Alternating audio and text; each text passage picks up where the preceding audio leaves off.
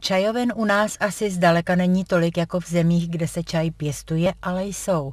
Ta naše, tachovská, je ale něčím zvláštní, je literární. Za tím účelem vznikla.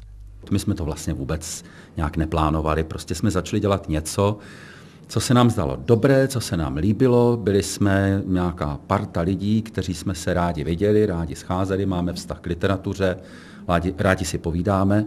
Věřili autoři, že jejich nápad veřejnost osloví? Naše očekávání bylo mnohokrát překročeno, protože jsme nedoufali a ne, nepředpokládali, že ta literární čajovna bude mít takový ohlas a tak dlouhý život. Kdy udělali ten první důležitý krok? Tak literární čajovna první byla 3. října 2013, kdy Petra Cehla, Cehláriková povídala o svých cestách po Africe. Takže to byla netradiční literární čajovna, začala to cestopisem. Protože literární čajovna od uvedeného data pravidelně zaplňuje čtvrtky v sedmdesátce, kdo jistí program?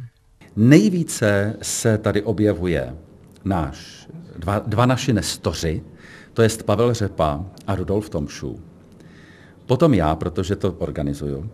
Do programu se ale zapojují i pravidelní návštěvníci čajovny, kteří chtějí představit autora nebo knihu, která je oslovila, nebo dokonce vlastní tvorbu, jak nám prozradila Petra Plášilová.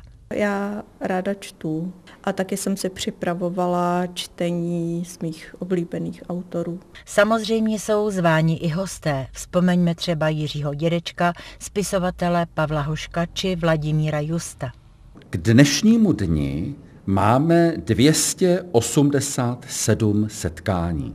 To znamená, že v lednu budeme mít 300. Jak jsme byli ujištěni, může tu kdokoliv strávit příjemně volný čas nad knihou, u čaje i vína nebo dobrého zákusku. Ale nemáte-li čas, můžete program čajovny sledovat i v pohodlí domova.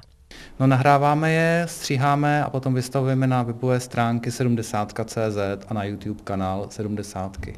Potěšilo nás sdělení, že stránku sdílí denně 30 až 40 lidí.